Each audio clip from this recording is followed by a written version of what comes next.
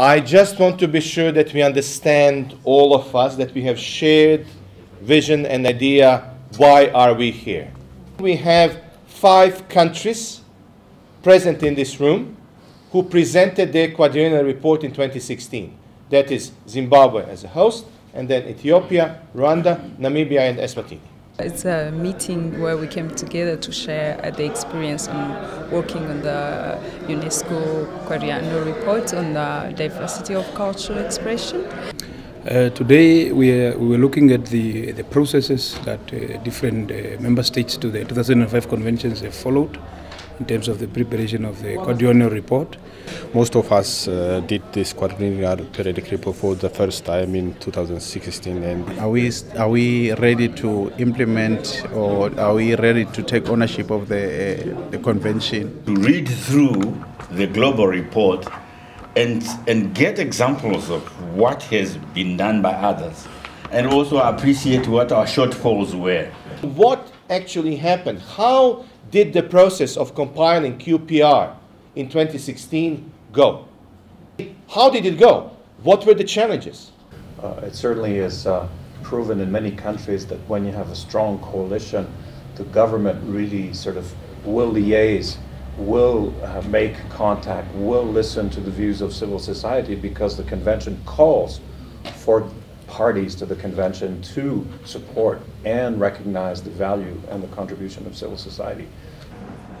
And I think this opportunity of having this global report also challenges you to have a look at the convention again. You now have a pretty good document to start working with.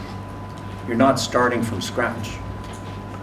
You have both a platform of discussion and you have a reference document and you have a framework, which is the 205 Convention, and you have mobilized parties from civil society and other ministries to work with. That makes policies, you know, stronger, better informed, better adapted to the needs of the people that will benefit. So basically, it was a platform for us to, sh to share what we have gone through, but also to learn from others. Uh, in view of improving our 2020 uh, quadrennial report, just to have experiences from various countries, various parties is uh, uh enormous uh, uh, advantage just to, to, to proudly informed. It It has been a very learning experience as well as sharing with other countries uh, their reports. Uh, it's, it's a really an eye opener. It's been uh, amazing, it's been really insightful, and uh, I've learned a lot. Uh, sometimes artists we think like policies are not for us, but they're for us, and we need to understand them. I've really took so much information and, and, and also ways forward to, to better work on the report because I feel I still have to work on the next one.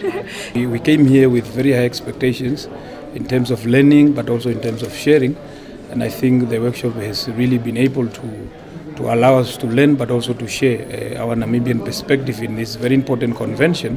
Uh, we believe that this will help us also when we go to back to Namibia. I think also our colleagues from uh, Ethiopia have given us some best practices that we can also tap in uh, especially in terms of uh, involving civil society and other organizations uh, in, in, in doing, I mean, in putting together this, this, this report. So those are my key highlights, and I think that will really help us in moving forward.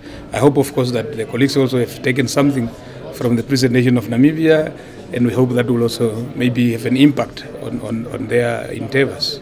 I found it very, very uh, interesting, and uh, I've learned a lot of things we uh, presented our experiences and we have learned a lot of things from, from, from other parties. It's very engaging.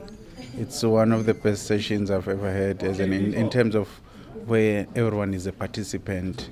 It's not like you sit and you listen. Uh, you make your submission, you have to, I mean, make a presentation. So it's one of the best experience, I mean, in my uh, in, in, my life in the arts and culture industry. What do we do about QPR? Let's understand QPR mechanism in depth. Let's develop capacity. Thank you very much again. Hope to see you soon uh, next time. Uh,